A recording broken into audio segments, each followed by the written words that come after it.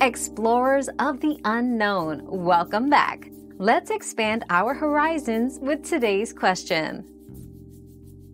Yes, you can bring a 30,000 milliamp hours power bank on a plane, but it must be carried in your carry-on luggage.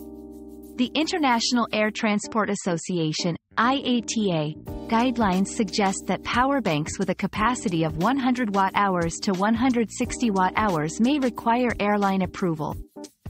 A 30,000 milliamp hours power bank is roughly equivalent to 111 watt-hours, assuming a 3.7 volts average voltage. Always check with your airline before flying, as regulations may vary. Our quest for knowledge never ends. Thanks for being part of today's discovery.